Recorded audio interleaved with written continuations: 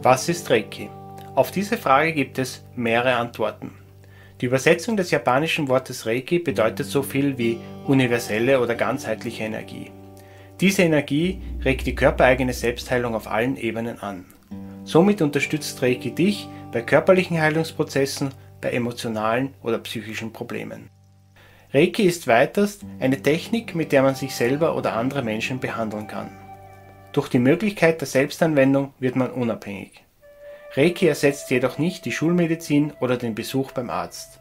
Es ergänzt konventionelle Medizin oder Therapie. Letztendlich ist Reiki eine Lebenseinstellung, die von Selbstverantwortung geprägt ist.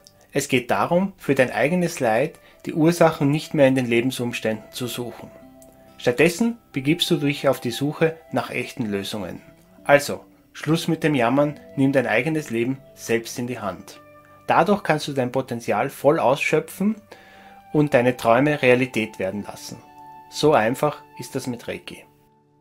Jeder, der ein Reiki-Seminar besucht und die Methode lernt, kann diese Energieform für sich selber nützen. Dies geschieht in Form der Selbstbehandlung. Dabei werden zwölf Körperstellen mit den Händen berührt und mit Reiki versorgt. An jeder Position ruhen die Hände fünf Minuten lang, sodass eine komplette Behandlung eine Stunde dauert. Gesundheit ist mehr als bloß das Fehlen von Krankheit, Schmerz oder Verletzung. Gesundheit bedeutet vielmehr das Erreichen eines Zustands der Ausgeglichenheit auf verschiedenen Ebenen. Neben der körperlichen Ebene, die leicht sichtbar ist, kannst du auf der emotionalen Ebene Fortschritte erreichen. Zum Beispiel durch das Spüren von tiefer Zufriedenheit oder durch das Ende von chronischen Wutausbrüchen.